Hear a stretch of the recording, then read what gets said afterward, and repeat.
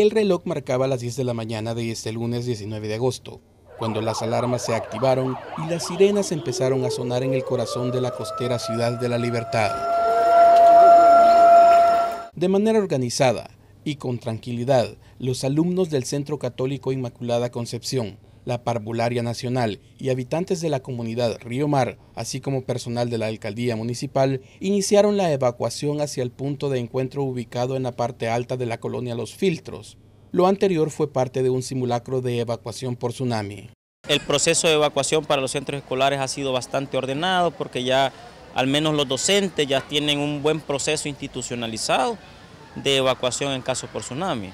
Este ejercicio de evacuación se dio en el marco del programa Tsunami Ready, que busca construir comunidades resilientes a través de estrategias de concienciación y preparación ante los tsunamis.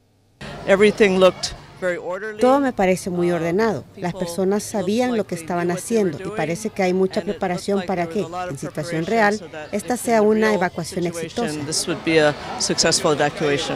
Este proyecto tiene distintos aspectos que se van a evaluar. Uno es ver cómo las comunidades, si las comunidades tienen la capacidad de responder frente a un tsunami, pero parte de eso es pasa por cómo han sido, cómo están los escenarios de tsunami en el municipio. Nosotros como ministerio hemos evaluado los mapas de amenaza por tsunamis, hemos apoyado en la valoración de los mapas de evacuación por tsunami para identificar dónde están esas zonas de mayor riesgo y a dónde están esos puntos seguros a donde la población desde las distintas comunidades se debe de dirigir.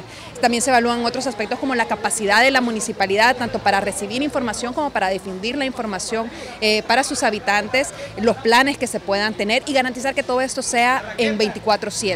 Tsunami Ready es un proyecto implementado por el MARN con el apoyo de diferentes entidades que han participado como la Administración Nacional del Océano y la Atmósfera NOAA de los Estados Unidos, la Alcaldía del Municipio de La Libertad, la Dirección General de Protección Civil, la Agencia de los Estados Unidos para el Desarrollo Internacional USAID, Plan Internacional, la Organización de las Naciones Unidas para la Educación, Ciencia y Cultura UNESCO y la Unión Europea.